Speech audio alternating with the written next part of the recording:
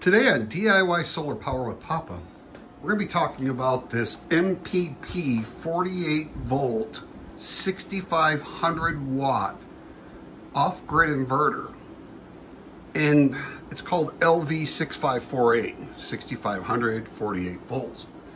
On this, it's really particular about how many panels and the way you string them together. In the owner's manual, it'll show you that you should be stringing these in series, either in 3, 6, 8, or 12. The 8 would be for the 3000 watt, and um, or you could use those with the um, three strings, three in series or six in series. But you wouldn't do eight in series, I don't think, on this one. That would be just the 3000 watt uh, so looking at this, you can do, like I said, strings and series, but when you go to do that, you could do like two strings of six panels in series.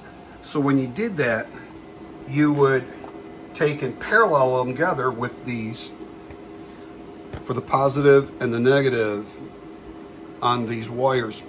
So you would sit there and bring your two positive leads into this one and come out with just one. And then your two negatives come out with just one. And then you would have those wires just coming in. So this would be your red one and this would be your black one coming in. You have two MPPT chargers on this. We just have 12 panels on this one connected. So we have six in series, another six in series, and then we use connectors like this to parallel them together and just bring in the two wires off of this on the ends. So if we go in and we program this, it's pretty easy. You want to make sure that this is in the off position and then you just press this fault button until the screen changes and then you're going to use either these keys to go up or the top one to go down. So if we go up, the first one we have the set at is solar, battery, or utility. It will look for solar first, then battery, then utility to charge and run your system. So we have that set up on one. Number two, we have it set up to charge for 60 amps total between our um, input of our solar panels and our grid power and the grid assist. So on number three, we have it as appliance. If you look in here, you have a choice between appliance or UPS. Now on this one model by itself, it doesn't do 240, it only does 120 volt AC out. Oh, we lost it on the screen, so we're gonna have to go back in here, press that button, and scroll. We were at appliance. Now on our battery choice, oops, we have our different types of batteries in there for number five. And we have AGM, so we have this set up as AGM. Number six, if we turn the page, is our auto restart and we have that enabled right there L looks like an F and an E. So that means it's enabled. Number seven is our auto restart when temperature over temperature occurs. We also have that enabled. Number nine we have that set at 60 Hertz for North America. And we have 120 volts because like I said this is your output voltage. Now you have a choice between 110 120 or 127 we have ours set at 120 now if we had two of these inverters paralleled we could get a split phase. We could get 120 240 out of this. But we can't do it with just one. So number 11 we have it down as uh, utility charging as 30 amps, and you can set that to whatever you want. We have ours set at 30 amps. So if we go to number 13, we have, that is your point back. We have that set up, it's uh, 55, but the default is 54. So if we go to the next one, number 16, we have this set up as SNU, where that is solar energy and utility will charge the battery at the same time. And we can do that, but we usually just run this off of solar panels. Number 18 is an alarm control. It's either BON or BOF, and ours is off for the alarm. Number 19 is our auto return to default display screen. We have that set up where that is on to go back.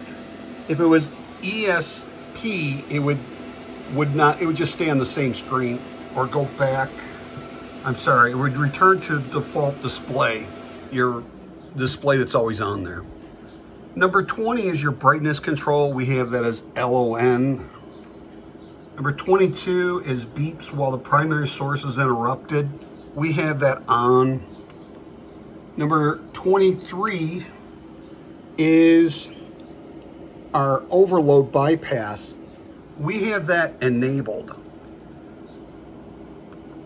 Number 25 is our record default, and we have that enabled as well.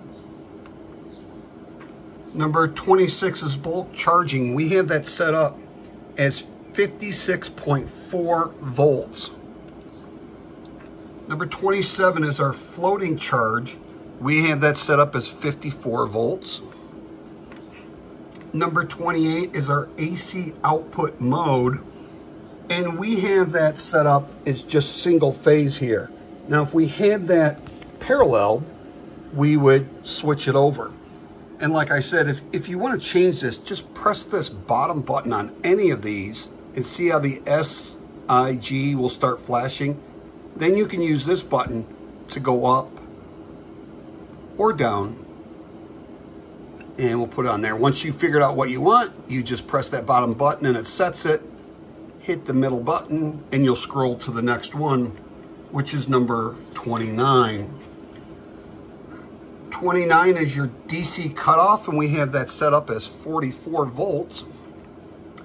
Number 30 is battery equalization we have this disabled. We're not doing this right now. So 30 through 36 is all the equalization and we don't have that on right now. So we're going to skip past that. Um, but we can go over the what it's set up as. Um, even though it's disabled, we have this one set at 58.4. That would be 60 minutes, 120 minutes. 30 days. Um, number 36 is the activation immediately. If you wanted to equalize your batteries immediately, you could go in there and press that. Number 37 is to reset all your data for your P PV generated power and output load. We don't want to do that, but you could do it. Number 51, I'm sorry, number 41, which is not in the book. I don't know what that is. Number 51 is um, enabled for on-off color, and that's for this display up here, is all that is. And I think the rest of this is pretty much the way you want your display for this to show you um, how you're lighting it up which I really don't mess with that stuff too much. Uh, so that pretty much will get you through that. You can get down to um, your data log would be on 94 and the data log recorded intervals you can change that to how many minutes you want it to do that then the next one is your, to set your time. So you could set your time on this Um, this is your minutes, hours, what day of the month it is, what month it is, um, and then 99 is the year, and then you just go right back to the beginning again. So once again, if you want to go in here and you want to change anything when you're on it, just press this fault button here and then scroll up or down. And then once you figured out what you want to change, press the fault button and you're set. Now, if you want to get out of this, just press this top button over here and you'll be out of it and you'll be back on the screen. Now, if you want to go I usually set mine up. This will tell you, if you scroll through here, go back to the beginning there, that's your default screen of your input. We don't have anything on right now. So now if we turn this on, you'll see that we don't have any input of our AC voltage to uh, assist this or to charge the batteries right now. If we go to our next screen, that is your Hertz input, once again, we don't have anything in there. So the PV1, our PV1 down here, we don't have anything connected. So this is gonna be zero, and it's gonna be for your amps and your watts. PV2, we have 202 volts coming in on PV2, and we can go up to 250. And we have 0.4 amps coming in right now, 69 watts. And then on this, this is our battery amps coming out. How many watts we're using. So right now we're our battery bank, which is just these cheap Walmart batteries on this one. We got two down there, two up here, and then we parallel, or we put in, sorry, in series using this two aught cable here, real stiff. And that works great for that. Now, it's 120 volts out, 60 hertz, and then our percentage of output, we don't have anything on this right now, so we don't have a percentage. Our voltage amps, our watts, battery amps, and then we can go into our day, month, year, and then we get into our, where we're seeing um, all the information, the data, so if we go into this and we go in and we put it on our watts, if we take, this is my freezer right here, my workbench. if I take and I plug that in there, the thing's on high, and the coldest setting, you'll see that it'll jump up to 592 volts.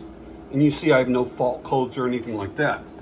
Now, if I take my other freezer and fridge and I plug that in to that, you'll see that that will jump to 2.3 kilowatts, 2.03 kilowatts. It'll drop my battery down to 47.4, 48. It recovers, and you can see that we're down to 788 watts again, and then we're down to zero. So those have kicked back off, and our battery will go back up again. So you should be able to take that load now on here, we only have 12 panels hooked up. Six in series of 250 watt panels and another six in series and we parallel those together. Now if we take this to the battery amps and we do the same thing again, we unplug these and plug them back in, let's see what we get.